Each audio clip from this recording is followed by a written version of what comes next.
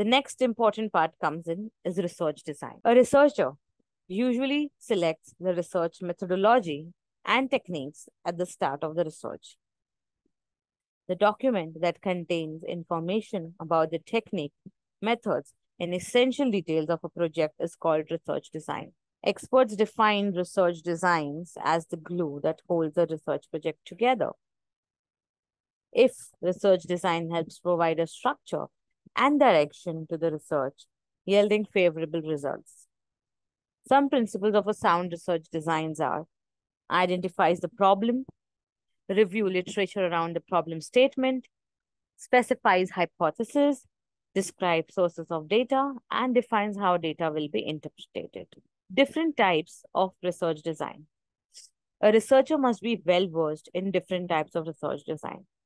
Moreover, a clear understanding of different research design helps choose a proper technique for the research. Research design is broadly divided into quantitative and qualitative research design. I'll walk you through them in a detail. First is quantitative research. This design aims at finding answers to who, what, where, how, and when through the course of research. Moreover, the outcome of quantitative analysis is easy to represent in the form of statistics, graphs, charts, and numbers. Then come qualitative research design that focuses on finding answers to how and why. It uses open-ended question and helps the subject express their view clearly. Qualitative research is ideal for business that aims to understand customers' behavior and requirements. You can break the types of research design into five categories. Experimental, correlational, descriptive, diagnostic, and uh, explanatory. Starts with experimental design. This type of research design looks at problems scientifically by establishing a clear cause and effect of every event. It also tries to understand the impact of IV and DV. Often social science used to observe human behavior and understand the social psychology of human being better. Then comes correlational design. This design establishes a relationship between two related variables. The researcher observes the variable over time and draws conclusion based on them. So this type of research design requires two different groups. A correlation coefficient determines the relationship between two variables. The value of correlation coefficient ranges between minus 1 and plus 1. If the correlation coefficient is positive 1, it indicates a positive relationship between two variables.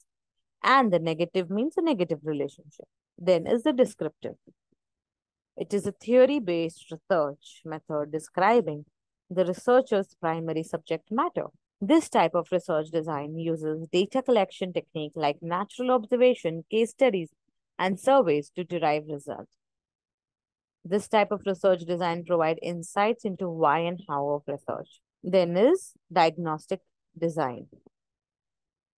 This design strives to explore the reason behind an issue and finding solutions to solve it. This type of research design tries to solve the problem in a structured from divided into three phases. The issues is inception, diagnosis of the issue, and solution for the issue. Then is explanatory research design. In this design, the researcher explore concepts and ideas on the subject to explore more theories. The main aim of the research is to explore the subject's undiscovered aspect and answer the question like what, how, and why. There's some basic characteristics of research design that I will give you the overview of. Those are validity and generalized. So validity, there are many ways to measure the results of research. A good research design helps select the right measuring tool to gauge results according to the research objective. Then the generalized is also a good research design that draws an outcome that can be applied to a larger set of people and is not limited to sample size or a research group. Neutrality. At the same start of every research, a researcher needs to make some assumptions that will be tested during the research. A proper research design ensures that the assumptions are free of bias and neutral. It also provides that the data collected throughout the research is based on assumptions made at the beginning of the research. The main elements of the research design are reliability. That reliability design is done when done right, can generate similar result every time it is performed. However, yielding similar results is only possible if your research design is reliable.